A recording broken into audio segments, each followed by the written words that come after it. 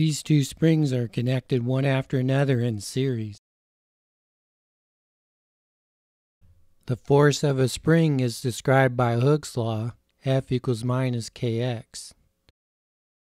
An applied force, F, stretches two springs that are connected in series.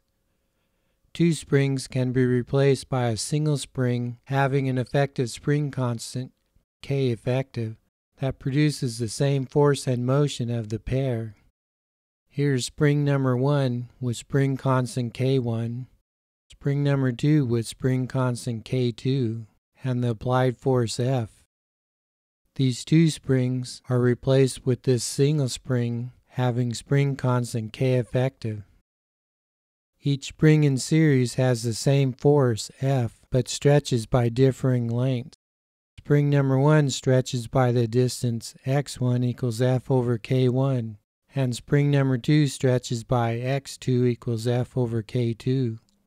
The total stretch of the two springs is x equals x1 plus x2 equals F over k1 plus F over k2, or we factor out the F times 1 over k1 plus 1 over k2. We define this to be F over an effective spring constant. For a system of n springs in series, the effective spring constant is 1 over k effective equals 1 over k1 plus 1 over k2 plus 1 over k3, and so on. The inverse of the effective spring constant is found by adding the inverses of each of the spring constants. For a system of two springs in series, we get K effective equals K1 K2 over K1 plus K2. These two springs are said to be connected in parallel.